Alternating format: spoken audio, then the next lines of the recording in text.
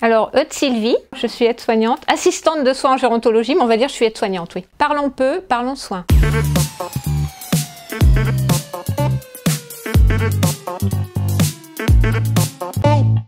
C'est venu effectivement tardivement à la suite de séjours en Asie. Et avant, je faisais complètement autre chose.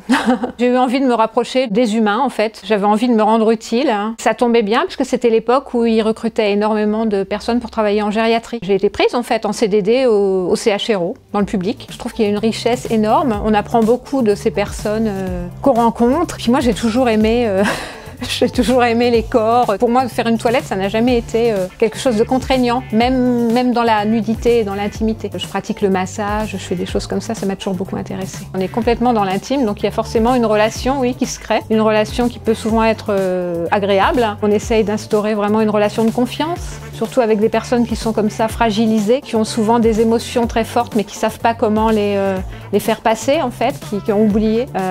ouais, on crée des relations vraiment vraiment intéressant, vraiment fort.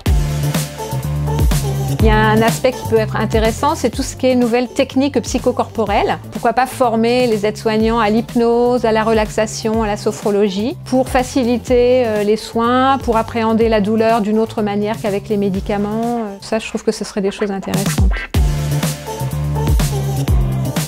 Bon, dévouement, partage, humilité, et puis les adjectifs, euh, j'avoue, je sais ça.